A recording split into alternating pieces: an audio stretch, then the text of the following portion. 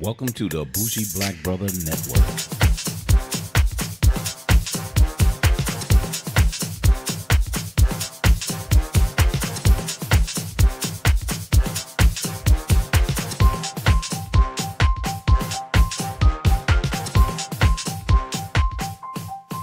Good evening and welcome to Fade to Black Cinema. I'm Michael, your bougie black brother, and I'm here with my co-host, Alicia. Hello. And today we just finished seeing number two, Sicario, Day of the Soldado. Day of the Soldado. So, uh, we were huge fans of the first Sicario done by Denis Villeneuve, whoever. Um, but one of our favorite uh, directors, and I didn't think um, they should have done another one without him. I was really concerned that they would ruin the feel and everything to do with the movie, but the previews looked like it was going to be really exciting. Did you get the chance to see any of the previews? Of the of this? Yeah, this one. No, no, no. We did see. I seen a couple. We saw it in the movies. hmm Yeah, we did. Yeah. Um, so when we saw it, I was kind of like, oh, okay, okay. Seems still intense like the other one, um, but really didn't know if it was going to continue on with, you know, with the previous uh, characters that was on there, without the one main lady that was there. Um, I forgot her name, but um, with her up inside of there, so it was Emily Blunt that was on there. She played Kate Macer or Kate, whoever. Yeah, but great movie. If you haven't seen it, you should see that one first. It's a good standalone. You don't have to see it separately, but it'll familiarize you with the characters. So the way the characters act in this one, as opposed to the other one, you would get some familiarization of the two. But anywho, so when you started looking at this, what was your thoughts, babe? What the the beginning of this? Yeah. How it started out? Mm-hmm. Um. Well, you know, I, I wasn't expect. I didn't know what to expect. That's one thing. I didn't know where the storyline was going to go because you know it. The first one was all about the Mexican cartel, and this one was all about you know um, the terrorists coming from, assumingly coming from other places, mm-hmm. terrorize, you know, doing terrorism. So you know that to me was was interesting because, like I said, I didn't know where it was going. I really didn't. I didn't know how it was going to turn out. So the because the first part was all about terrorists, and then when you when it got further in, it was like it wasn't. It didn't associate with that in some way. It was the government associating with that Okay. more so than Mexico associating with that. Okay. Okay. That's interesting. Yeah. So, um, to put it in perspective, um, the synopsis says the drug war on the U.S. Mexico border has escalated to the cartels have begun trafficking terrorists across the U.S. border. To fight the war, the federal agent Matt Graver reteams with Alejandro the Sicario assassin. So he teams up for that. But like Leisha was saying, what it started off to be was we saw some activity of some immigrants or migrants crossing the border, but the one uh, that they caught seemed to go against the other migrants. And when they cornered him, he blew himself up. And it was kind of like, whoa, what the hell was that all about? And so when they started investigating, they had like three prayer rugs. So it was kind of like, uh oh, there was some terrorists crossing the border. And then they showed another scenario after that that showed uh, four terrorists going into something that looks like a target um, that they walked up into and start detonating themselves. So flash to the Secretary of Defense and um, what's his name, Matt Graver, Matt, who is Josh Brolin. So Josh Brolin has been really busy this season because you know he he's just done a lot of different Man, stuff. he's so damn- so Well, he played in Deadpool. Yeah, man. Um, he played Thanos, and now he's back in this one from there. And in all three, he played a damn good role. He played a damn good role, Josh has a, a threefer or whatever they want to call it, a trifecta of three hits that um actually he actually co-starred in. So he's kind of like perhaps the star or co-star with Benicio del Toro, who reprised his role as Alejandro. But anyway, so the Secretary of Defense needed someone to infiltrate the border because they know when he did in the previous movie. Uh, they don't say previous movie, but in the previous movie, and he found out that he was dealing with some of the uh, Somalian pirates and they found that some of the terrorists got on a boat that got into the United States. so, which made it really, really, really interesting because, you know, he was telling them. So he captured the one guy, and they came in, and special ops came in Somalia and captured the guy, and you know, pretty much terrorized him by killing his family, and he's showing him what he could do to get information. So so the whole objective was how do we get these cartels to stop helping the terrorists? What can we do to distract them or get them to stop? Um, so Matt or Josh Brolin said we need to get the cartels to go to war against each other to keep themselves actually occupied.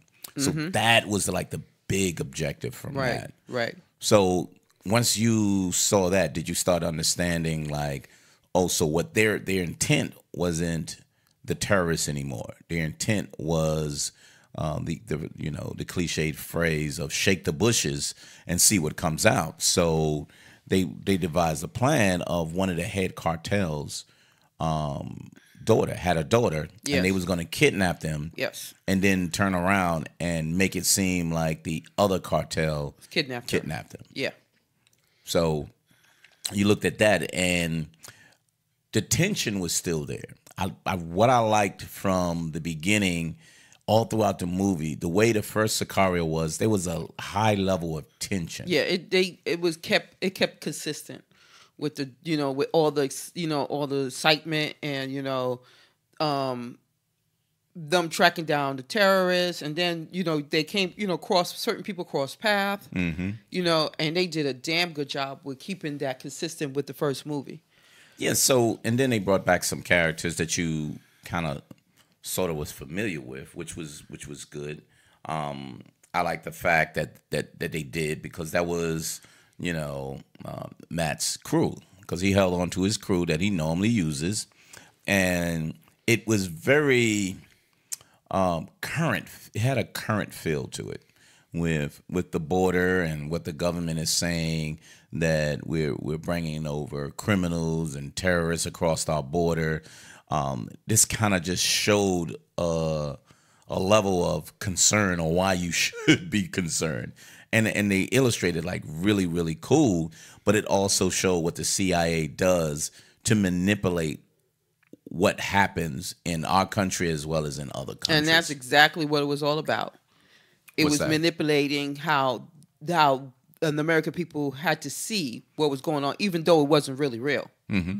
You know, so um, that kind of pissed me off in the movie, but still, no. So so how did it piss you off though? because you know how they were, tr- how the government was just doing crooked shit. I mean, they wanted him. They they say, "Hey, you got full carte blanche to Yep, do the hell blanche. you you could do what the hell you want to do." He's As long like, as we get this done. You sure? He said, "Yeah, we're gonna get dirty." He said, I don't care. But when it came down to when he started killing the police, and they wasn't police because they were in police cars. But they were police. they- okay, so but they were working for the cartel. Yeah, they was working for one of the heads. Yeah, but that's the corruption in Mexico. Right. And So, so, no matter what, the corruption in Mexico, they buy out whoever they want to buy out. right. So with that happening, it was like, no, you can't do it no more. What what you mean you can't do it no more? You told me that. Yeah, You told me I got I could do whatever I want to do. No, it made us look bad. We came in the country. I'm like, Yeah. what the hell? But what I what we was discussing earlier bef- when we was in the car coming back was the the reason why they really got cold feet was the terrorists that blew themselves up, all of them didn't come across the border. Some of them were from states around them, like one of them. They said it was New Jersey and some Yeah. other places. Yes, exactly. So the concern was, even though we saying they're coming across the border, the press and everything, and they didn't kind of elaborate, but you can assume that the press and everything said these are where these people are actually fun from. These are homegrown terrorists, Terrorists, yeah. uh, Muslims that's already in our country. It's not like they left and they they snuck over the border. Yeah, they found some people that snuck over the border, but in this case, um, we can't put the emphasis that we need to do something at our borders when they're here already. right. So, and and that's the problem with trying to deal with terrorism. You don't know where it's coming from, and it's not a silver bullet to knock out the one thing and then terrorism stops. It's it comes from all angles, from different people at different times. And and you know, it was it had really good political overtones, but the suspense and the drama and the tension that was all throughout the movie, you was kind of like, whoa. But again, you dealing with another country. So this, these CIA people, you know, they dealt with black ops people. So, you know, um, the guy Matt met with some, I don't know who, but he had like military operation stuff. He had helicopters, and he said, I'm going to need $10 million a month, um, uh, 150% over um, what it is, as well as something else. And he was like, You got it. He said, The defense is going to take care of this. He said, Yep, you got it. So he got everything he wanted it all of the support, all the tech, all the soldiers, everything. He got it all. And their attack was Mexican cartels. But what they failed to realize, the Mexican cartel is still part of the government Yep. Yeah. because they bought off government officials and they bought off uh, the police and, and different things like that. Yeah, because they met. So it was all focused on trying to keep the cartels fighting each other. Yep. That's what it was all about. So what they did was they kidnapped one of the cartel's daughters, and she was a little badass little girl. Mm-hmm. Yeah, a little badass. You wanted to kick her a little. I wanted to beat her ass, but when once they kidnapped her, I I mean I told Mike I said she's fucked. Her, her I mean she's gonna be mentally just Traumatized. traumatized because of this. Because basically, what they did was they set it up for where they kidnapped her, took her across the border, brought her into Texas, sat her there, make her think that the the police, American police, you know, DEA and all of them, were um, Saving her. saving her, and she wasn't that stupid. That Yeah. girl, she knew who the she knew who the guy was, because it was you know during the whole thing you could see them actually looking at her face. You know, she kept looking at his face. She kept looking at his face. Mm-hmm. And, and they did a good job. The camera work was really centered on her expressions. Mm-hmm. And her expressions was kind of like, what the fuck? yes, yes, She didn't have to say it, but you can tell she was kind of like, I don't, something's wrong here. right. You know, her, her, her whole demeanor was something is wrong. Yeah, because they really were supposed to kill her. No, they didn't. They wasn't supposed to kill her. No, from the beginning they didn't supposed to kill her. Okay, the, the intent was to get them to fight each other, and then the government, uh, the U.S. government said we helped, so now you need to help us, and so they can be part of finding out where these terrorists are coming from. So to infiltrate within, it's kind of like you a favor for a favor. So as they warn against each other, the the catalyst is really the daughter and the DEA or the government, uh, U.S. government saying, "I did you a favor." So long term, you would get a favor from saving his daughter. But the thing is, the cartel leader was, "I don't give a damn who saved my daughter. Whoever has her, kill them." So they set up an escort to get them out and really get her safe. And the police escort that was actually escorting them attacked them. And she was right in the middle of that. And you can tell she didn't know what to do. She she was just, you know, one minute she was afraid, the next minute she panicked, and then the next minute she was afraid again. And and that's when you was like, wow, she's really gonna be traumatized by this. You know what I mean? Mm-hmm. And even from the beginning when they captured her, it was kind of like, "Huh, this is weird. You know, you can tell she's like something just doesn't seem right here. You know what I mean? And when they when the DEA brought her into this hangar full of military people, and she was staying right there, she was like, something's just not right. But anyway, after they got attacked, she ran off while they was into a serious gunfight. And when they ran off, he he followed her, Alejandro. Alejandro. uh, the Sicario, uh, actually Tracked her followed down. her, tracked her down. Yeah. Somebody tried to capture her, and he killed him. And so he tried to find a way to get her across the border. Then that's where, you know, I think where you said you got pissed off and how the government turns on you, even though they tell you this is what they want you to do. Yeah, And then they turn around and say, oh, I'm going to shut you down. That's it. You're like, wait a minute. You told me this is what we had to do. So they they found out, and the president of the United States, because they said POTUS said, you know, you need to shut this down because our intent wasn't to go to war with the Mexican government. And he was like, they shot us. The hell you wanted us to do? Right. These aren't the right. These, these were paid uh, employees of the cartel, and they was kind of like, nah, never mind. Uh, uh don't want that. Yeah, they didn't want to hear that. Yep. So so it it just made a turn. But all up to that, there was just tension of what's next or how do you set up the next plan? And there was a plan on top of the next plan. And it looked like it was going right until the Mexican government turned on them again. You know, because they did that before. Right. You know what I mean? Into the first movie. But then they turned on them and then they was left out to say, look, how do I fucking get back?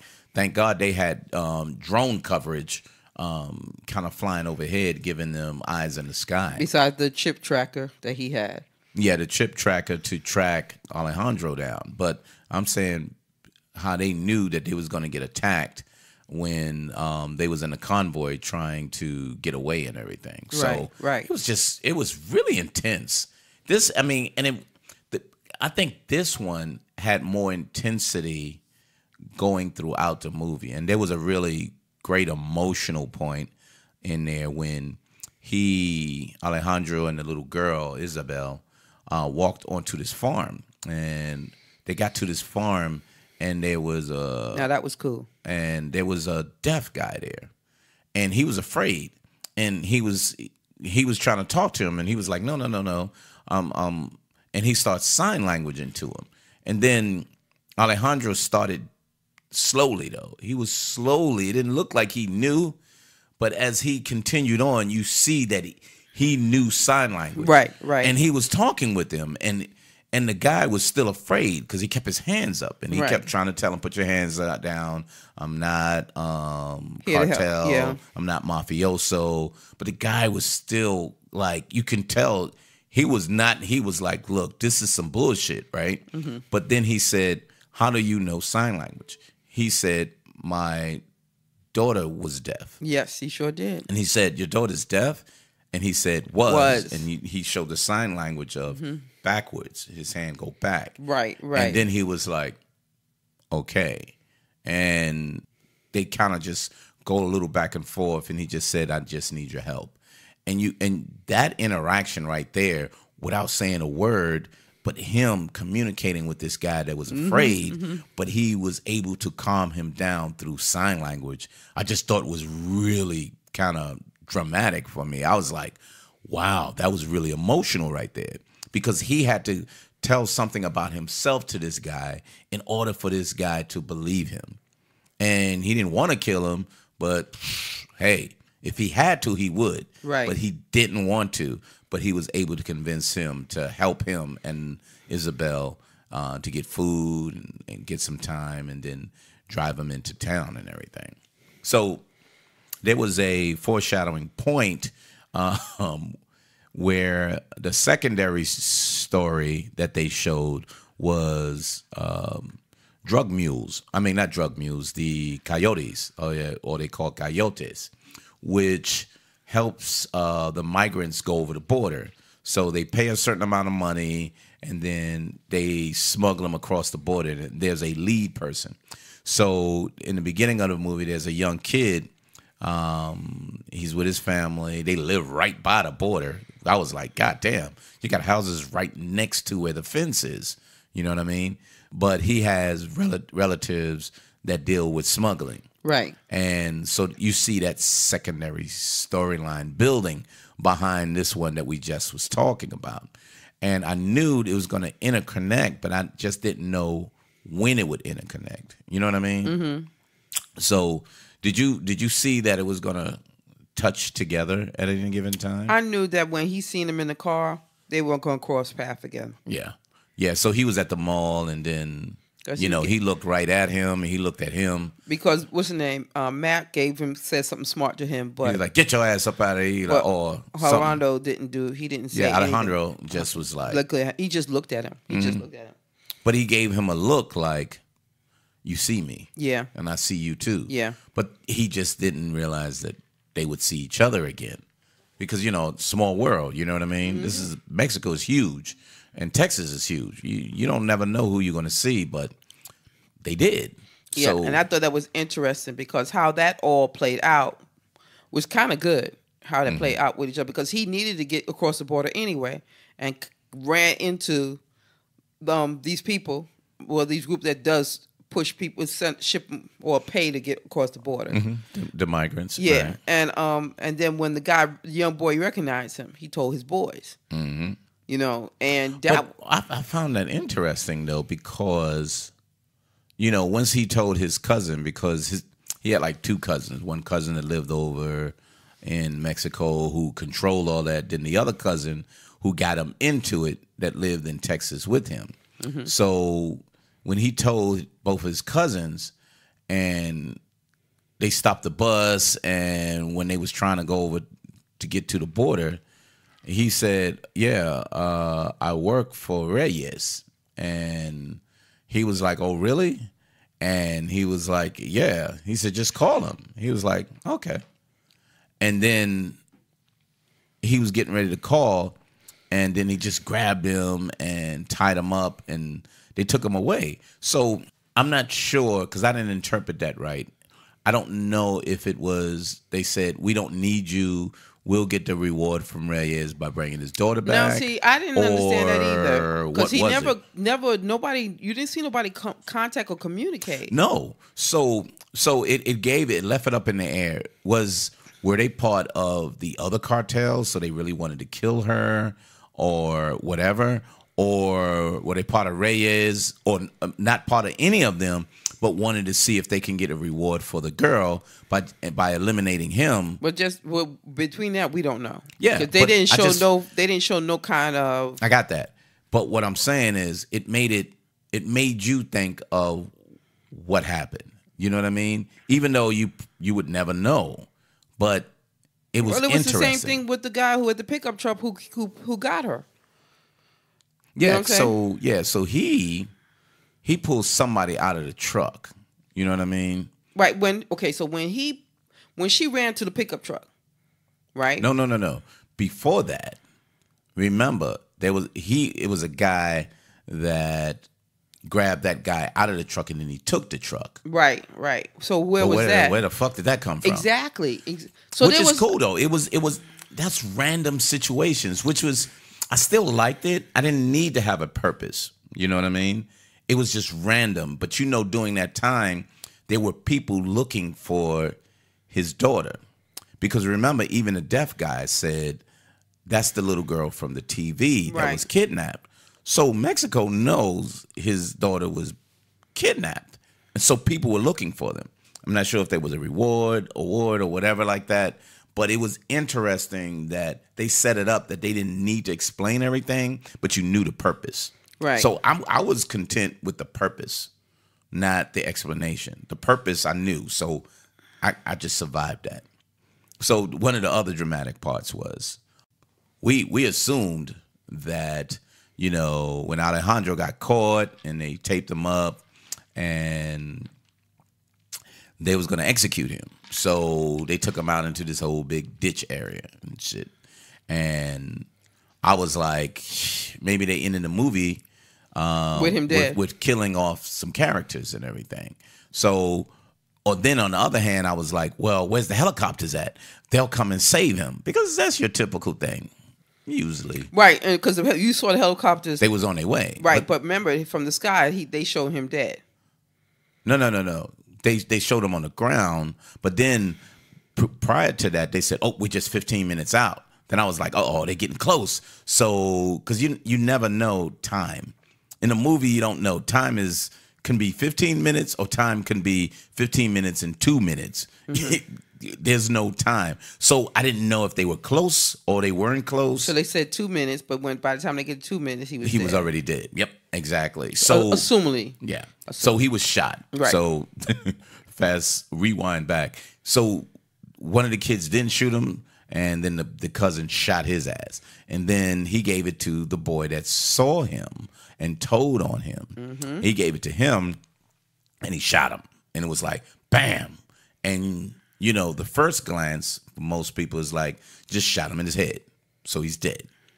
But I saw that the bullet was closer to the front of his face. Exactly. I And when I saw the front of his face, I'm like, wow, is he really dead? Or maybe the angle is telling me he shot him in the face. Right. And it was in his face, but it was his head. So I didn't know.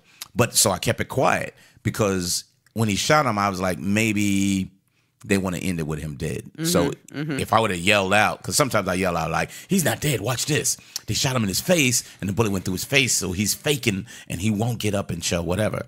But I I wasn't sure because you don't know the intent of the movie, Right. so I got I kind of let it go. So and then the the CIA people was tracking down the tracker because the tracker was on the girl. Remember, he put it on Right, the in girl's her shoes. shoes. Uh-huh. So they was tracking the tracker. So as they tracked the vehicles, they wind up getting them and sh- shot them all up, left them out in the uh, middle of the street. He said, "What are we gonna do with her?" Because they were supposed to kill They was her. like, "What are you doing?" And he took the girl. And he was like, uh, We'll take a- wi- pr- "We're wi- taking a pro- um, witness protection. witness protection. Very good. I was going to say protective custody, but I was like, that's for cops. But um, yeah, witness protection. And then and they just flew away. But then all of a sudden, they take you back to the big ditch area, and he just goes, and he wakes up, and I was like, she shot him in his face. I said they shot him in his face, and then they show the bullet go through one cheek out and the out the other. yeah. And then you know, it's obvious ways he could have got loose, and he got loose, and then he he wind up getting to a truck um, that most of them was dead, and I was like, okay, he got that far, but he was blacking in and out of consciousness doing all of that. But then out of the blue, um, the Mexicans, kids from the other side, actually flagged him down. They blinked their lights, and then they turned around. But I was wondering why he had them grenades. He grabbed like two grenades. God damn, he sure did. And I was like, the fuck is grabbing grenades for? So they came in handy because as they came beside him and tried to shoot him, he, threw he, took it off. He threw one inside of the goddamn he car. threw it in the car. And they blew their ass up. And, you know, he, he hit the side of the road, caught his breath, and then he just moved on. So it was kind of like, gotcha. You got the CIA people that's having the young girls witness protection, and then you had the one kid. Oh, we didn't say that too. The one kid that shot him, he was so yeah, he was so disturbed or just By- traumatized by, by he, him killing that guy. he jumped off the He truck. He jumped off the truck, Sure and it was kind of like, man, I'm out of here. Yep, walked. Yep, and he walked back to wherever, and you know, probably in Mexico, that's what they do. So he he just walked out. Yeah, but at the end, So at the end, they said one year later, and you see that he was really part of um, either the cartel or whatever because he was tattooed down from his neck all the way down his arms, and um, he always go to the mall to pick up either the list of the people or money or whatever. So he goes into this one store, and when he opens the door, there's Alejandro, and Alejandro said, "Nah, uh, uh come on in." that's right. He said Come we need in. to talk. He was like, uh, so you want to be a Sicario, huh? We need to talk. Yep. And then he slowly closed the door. So if there's another one, it's almost like, will he be his protege and he'll get this kid to be an assassin just like him? Yep, To yep. be working against the cartel. And then the CIA guys, since they don't have a relationship anymore because he's supposed to be dead, does is he gonna have the kid be his, you know, his forward Sicario or his forward assassin in place of him, and have this kid run around and do all of that? Exactly. So it was a great, intense damn movie. I really liked it. I liked it as much as the first one. I, I I think the tension and and the way he directed the first one, the actors played a lot better. Right. Right. The acting on here was good though. I'm not saying that it wasn't good, but the acting on the first one was, Was- really it was better. It was very intense. Yeah, it was much really liked better. how it Yeah. was.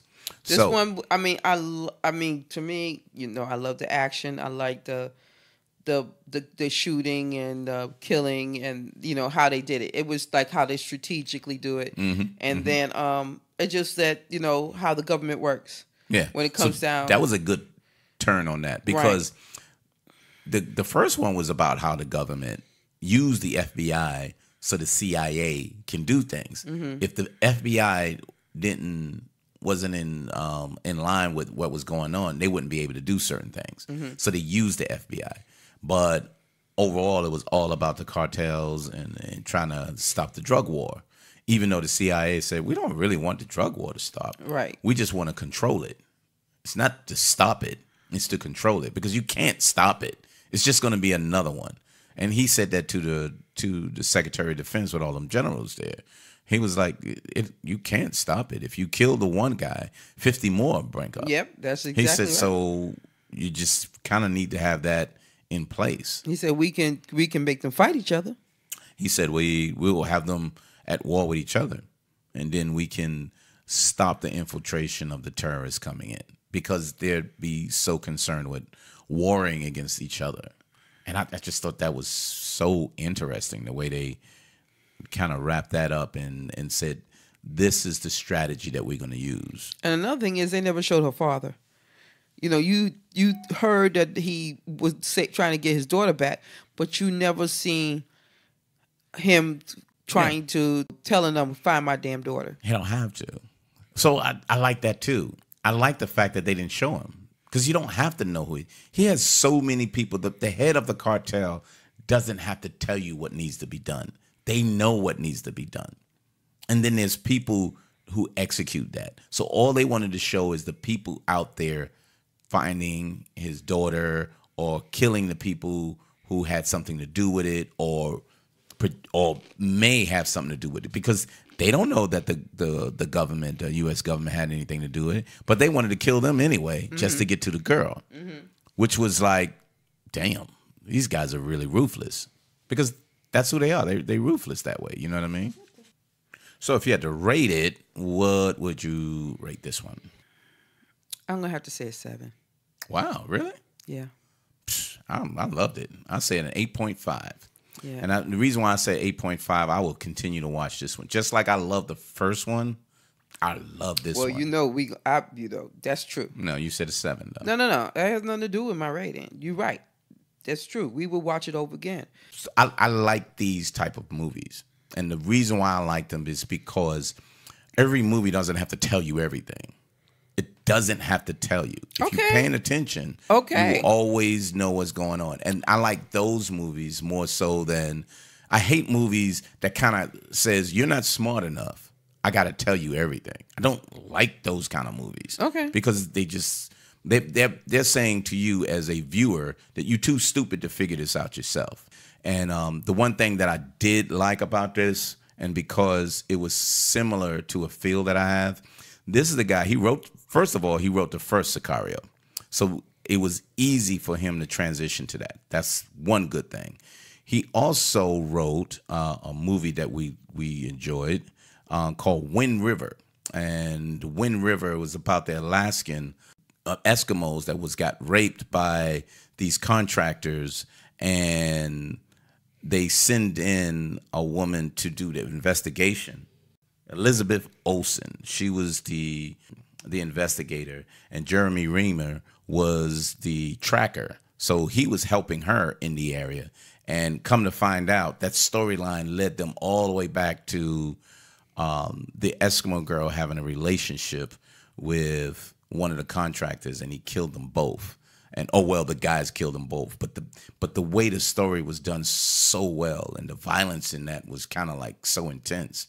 And then the one that we didn't see was Hell or High Water, and he got nominated for best screenplay uh, as an Oscar. And um, we just didn't get a chance to see that. I really wanted to see that movie too, um, but that was good. But then the director which was interesting. He's an Italian director. His name is Stefano Sollima, And he did one that I enjoyed called Gomorrah. Uh, I saw that. And there was a couple of other ones, but I'm not really familiar with. But he, he's done a good job. He's and most foreign directors have a different look and feel at the way they did it. So this one was really interesting. So they had two good writers I mean, a good writer and director on here.